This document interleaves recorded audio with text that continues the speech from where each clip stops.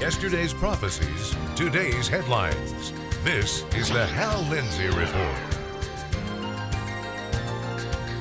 And now, Hal Lindsey. Good evening. Welcome to this edition of the Hal Lindsey Report. People sometimes wonder why I bother to talk about the dangers of Islam.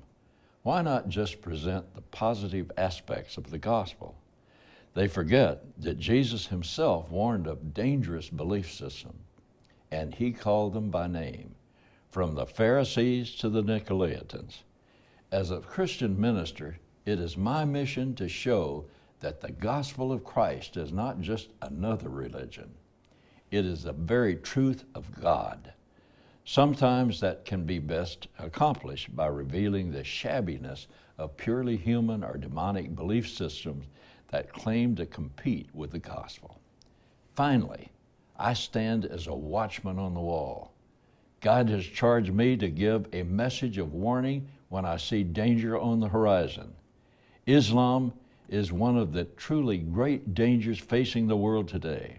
Dr. Peter Hammond is a South African missionary. He served in Mozambique, Angola, and the Sudan. He's seen firsthand the tragedy caused by the Muslim faith. By necessity, he became an expert on the subject. He writes The ultimate goal of Islam is not to convert the world, but to establish Sharia law over the entire world. It's critical that we understand that. Islam is not intent on converting us so much as it is intent on ruling us. Abul Ala Maududi is a famous Islamic scholar and imam. He said, Islam wishes to destroy all states and governments anywhere on the face of the earth which are opposed to the ideology and program of Islam, regardless of the country or the nation which rules it. The purpose of Islam is to set up a state on the basis of its own ideology and program. In his book, Slavery, Terrorism, and Islam, Dr. Hammond wrote, The primary aim of Islam is not spiritual, but political. He lays out a summary of how Muslim populations have historically behaved when entering a country as immigrants or refugees. It's a process he calls Islamization. At 1% of any given country, they will be regarded as a peace loving minority and not as a threat to anyone. At 2 to 3%, they began to proselytize from other ethnic minorities and disaffected groups with major recruiting from the jails and among street gangs. From 5% on, they exercise an inordinate influence in proportion to their percentage of the population. They will work to get the ruling government to allow them to rule themselves under Sharia law. From there, it gets worse fast. When Muslims reach 10% of the population, they will increase lawlessness as a means of complaint about their conditions.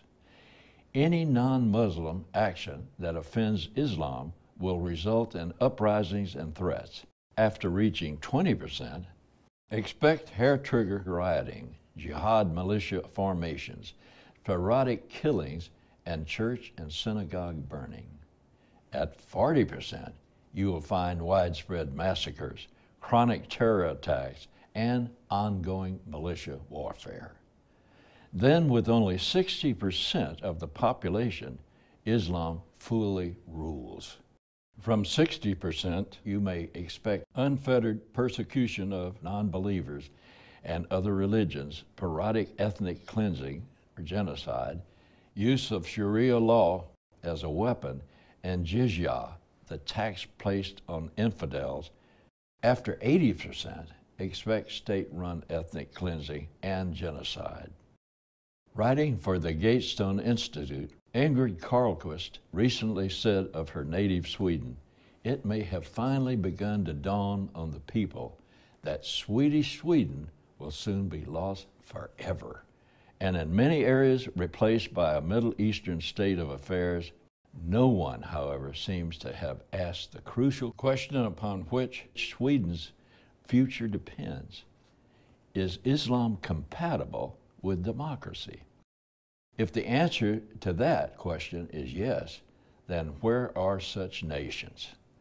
Carlqvist says there is no country where Islam is dominant that can be considered a democracy with freedom of speech and equal justice under law. Some point to Malaysia, Indonesia, and Turkey as the shining examples of Muslim democracy. But if a woman in one of those countries is deemed to show too much skin or even too much hair, she can be flogged. It's against the law to even question the Islamic faith, much less criticize it. America's founders believed you could not have a meaningful democracy without freedom of speech. Carlqvist writes Politicians, authorities, and journalists all see Islam as just another religion. They seem to have no clue that Islam is also a political ideology, a justice system, or Sharia, and a specific culture that has ruled for virtually everything in a person's life. How to dress, who your friends should be, which foot should go first when you enter the bathroom. Granted, not all Muslims follow all these rules, but that does not change the fact that Islam aspires to control every aspect of human life, the very definition of a totalitarian ideology. With new asylum houses continually opening across Sweden, traditional Swedes are feeling less and less at home in their own country. They feel increasingly anxious about their physical safety and that of their families. This is happening in different ways across Europe. Folks, immigration that is not followed by assimilation is just another name for invasion. When you support the Hal Lindsey Report with your tax deductible gift, you're joining me as a watchman on the wall. I've told you many times that I believe God raised up the Hal Lindsey Report to be a voice of warning to the church, the nation, and the world. I've also told you that I can't do this job alone. I need your help. I need your prayer support and your financial support. And praise God, I've received both in generous supply in the past.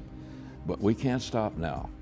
Please stand beside me on the wall as we proclaim the good news of Jesus Christ and warn the world that He's coming soon. To support this program, send your tax deductible gift to Hal Lindsey Media Ministries, P.O. Box 470 470, Tulsa, Oklahoma 74147. You can also support this ministry online. Visit hallindsey.com or call 1 888 Rapture. The number of people who believe themselves to be transgender in the United States is somewhat less than 0.3%. Not 3%, but 0.3%. So why continue to bring it up? Because with all the media attention paid to this issue, the numbers may grow dramatically in the next few years. Sort of a self fulfilling prophecy a phenomenon we have witnessed repeatedly here in America. I am a watchman on the wall, and I'm telling you that this mass confusion over gender and sex is putting the souls of America's children into the shredder. Last year, 11 states sued the federal government over its threat to withhold funding from schools that require students to go to restrooms and locker rooms designated for their own sex. The states said the Obama administration had conspired to turn workplaces and educational settings across the country into laboratories for a massive social experiment, flouting the democratic process and running roughshod over common sense policies protecting children and basic privacy rights a school near Chicago tried to accommodate a boy who said he felt like he was a girl. They allowed him to use the girls' locker room, but school officials wanted to put a curtain around his changing area. If this same boy went out into the street and flashed these same girls, he would be arrested. But the Obama administration insisted that a privacy curtain would violate his civil rights. Oddly enough, even the atheists and evolutionists who run our government and academic institutions recognize that at its heart, this is a spiritual issue. When you boil it all down, this is their argument. They are saying the child is physically a boy, but spiritually a girl. The hormones, chromosomes, and physical structure of every cell in his body carried the unmistakable markers of a human male. Chuck Colson wrote in his 2005 book, Lies That Go Unchallenged being transgender, as it is called, is a violation not only of the moral order, but also of the biological order. Physically, there is no question that this is a boy. The science is obvious. So they turn to the spiritual realm and give that as their answer. They say it's a female trapped in a male body. What exactly is it that is trapped? They must be referring to the soul or the spirit. That makes theirs a religious position, and they're imposing this false religion on everyone else. It turns out that nature has a fix for young boys and girls who feel, who feel confused about their gender. It's called puberty. But members of Obama Justice and Education Departments refused to let nature take its own course. They wanted doctors to step in with powerful drugs in an attempt to stave off puberty and keep the child in confusion. Sadly, almost incomprehensibly, they are destroying young lives. Transgender people are committing suicide at record rates. At heart, these people are at war with themselves, and neither drugs nor surgeons' knives can give them peace. Those psychologically wounded people need help. But the first step must be to stop fighting what God made them to be. And God created man in his own image. In the image of God, he created them. Male and female, he created them. That is a spiritual as well as a biological fact. Pushing troubled boys into girls' locker rooms will only make matters worse. There has recently been renewed talk of a possible confederation between Jordan and the Palestinians. Though this union has been discussed before, no details have been given on how they would govern together.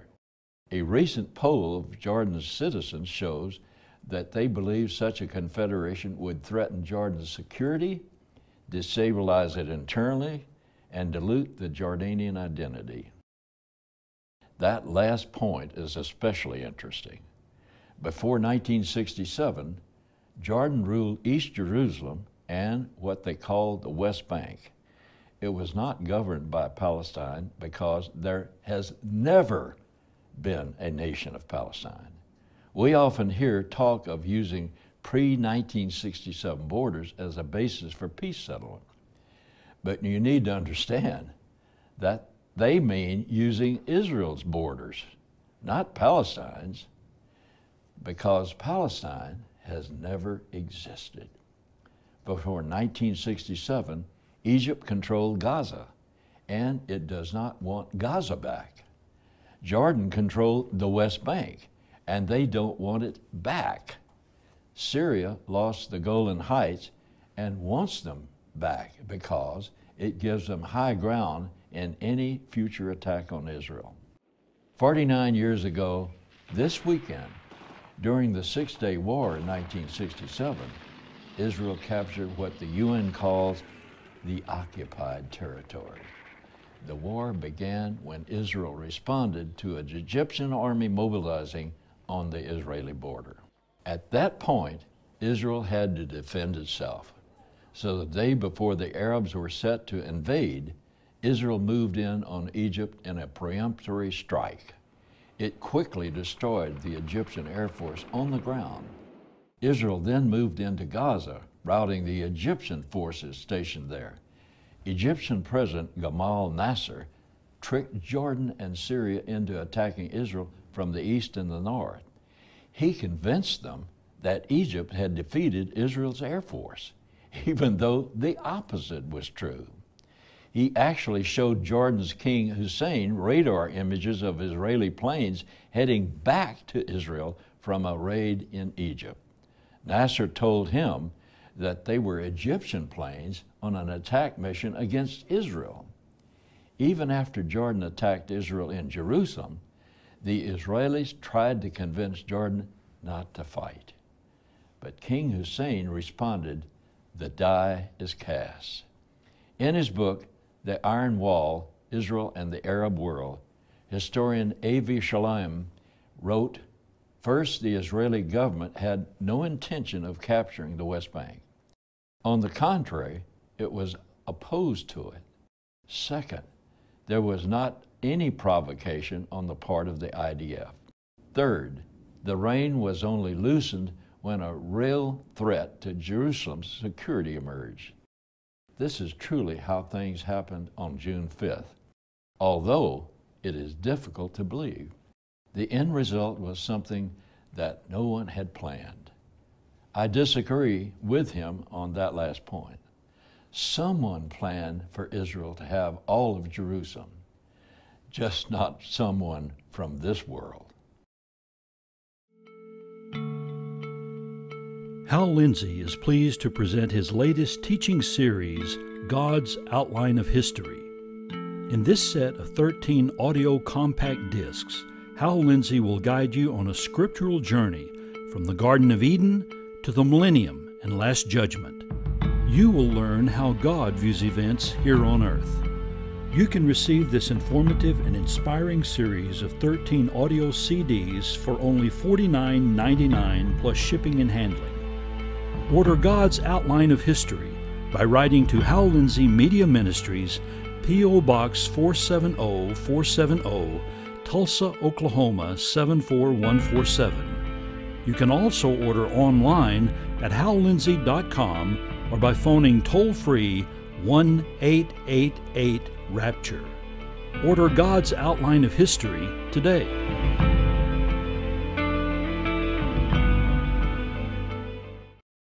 Thank you so much for standing with me as a watchman on the wall. I thank God for sending me such loyal partners, and I pray daily that He will reward your faithfulness and protect and prosper you in these very difficult times. Thank you again from the bottom of my heart. Most Christians have some vague concept of the power and authority that belong to Jesus but they cannot put their finger on just how he got his authority or how it relates to them. I cannot think of another truth that has been more foundational to my whole understanding of God's working in my life than the truth of Christ's victorious defeat of Satan. It's impossible to appreciate your position of victory in Christ until you know how he won his victory over your three great enemies. That is, the world, the flesh, and the devil. Three words summarize Christ's acquisition of authority for himself and us. They are crucified, resurrected, and ascended. If you understand no other concepts of the Bible than these three words, you would know enough to live a victorious Christian life. Crucifixion. When Christ hung on the cross with our sins on him, he was not only bearing our sin and its consequences of death, but we were actually hanging there on the cross with him.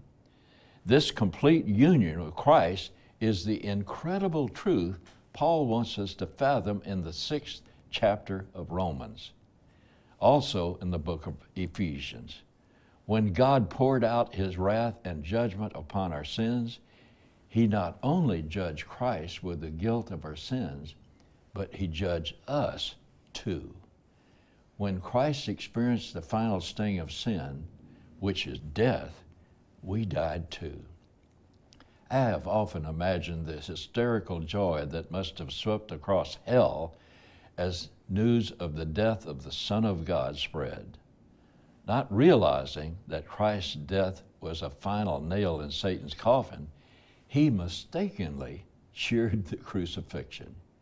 You see, many times in Jesus' life, Satan tried to get Jesus to sin so he would be vulnerable to sin's consequences, that is, death.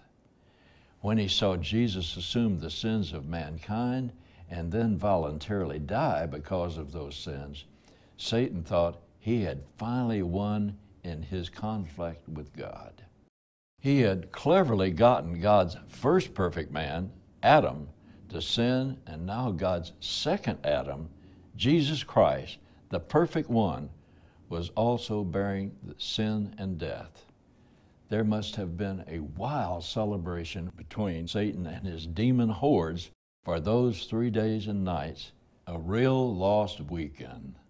But then a sobering and deadly hush fell over Satan's forces as these astonished beings observed the greatest display of power ever unleashed from the hand of Almighty God.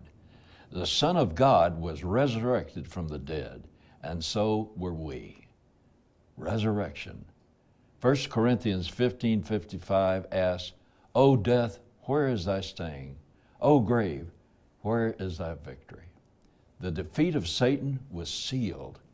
With the resurrection of Jesus, Satan forever lost his authority over the humanity of Jesus and over everyone who claims union with him. Just picture the chagrin that Satan must have had before his rebel followers. Far from being the victor, he became the vanquished. He and his hordes were the captives in the victory train of triumphant Jesus.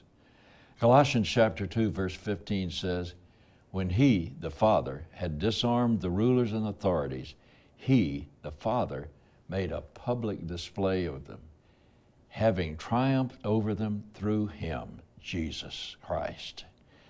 When the Father, through Jesus, stripped Satan and his demons of their authority, that victory was ours. In Satan's mind, not only is Jesus the, his conqueror, but so are those who are in Christ. Satan knows that he has no legal right to any ground in the life of a believer. But if he can keep us from finding out this truth, he will have a field day in our lives. The verse we just looked at says Jesus disarmed those hostile powers. That's just exactly what it means. Satan is like a toothless bulldog. He can growl and intimidate, but he has no authority to back up his threats in the life of a believer. But if we don't know this or believe it, we will allow him to intimidate us, and he is a master at that. He loves to get Christians to cower or run from him in fear. Satan is a vanquished enemy who must now resort to bluff, threat, intimidation, accusation, and temptation. The believer who does not know and count upon his complete union with the person of Christ in his crucifixion and resurrection is a prime target for these clever attacks of Satan. Ascended with Christ. I said that there are three words that comprise Christ's position of authority over Satan. We've briefly seen what Jesus' crucifixion and resurrection have done to the hosts of hell the culmination of God's whole redemptive plan was to place Christ on the throne at his right hand, forever putting Christ's enemies under his feet. Any enemy of Christ is an enemy of ours, and anyone put under Christ's feet is put under ours also, because we are actually members of his body. How can I say it and make it understood? We are members of his body we are in Christ. Because of my total identification with Christ in the mind of God, whatever is true of Christ is true of me. Jesus is now seated on his throne in heaven at the right hand of God, the center of the greatest power and authority in the whole universe. And we are seated there with him. He has delegated to us the use of the same authority he has and the power to use it over mutual enemies while we are here on earth. Isn't that fantastic? Listen to what God declares in Ephesians chapter 2 verses 4 through 7. But God, being rich in mercy because of his great love with which he loved us, even when we were dead and our transgressions made us alive together with him or in Christ, by grace you have been saved, and raised us up with him and seated us with him or in him in the heavenlies, in Christ Jesus, in order that in the ages to come he might show the surpassing riches of his grace and his kindness toward us in Christ Jesus. God has so completely dealt with me, the sinner, and my sins, that he has already seated me in the heavenlies in Christ. While I talk to you from behind the desk here in the great state of Texas, I am at the same time seated with him in the heavenlies. We don't have to wait until we die and go to heaven before this becomes true. It's a reality right now.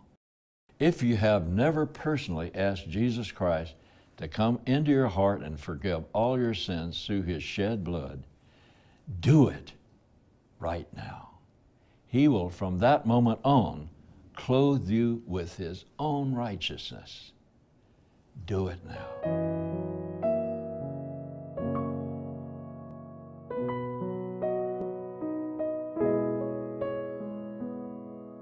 That's it for tonight, folks. God willing, I'll see you next week. You've been watching the Hal Lindsey Report. To support this program, send your tax deductible gift to Hal Lindsey Media Ministries, P.O. Box 470 470, Tulsa, Oklahoma 74147. You can also support this ministry online. Visit hallindsey.com or call 1 888 Rapture.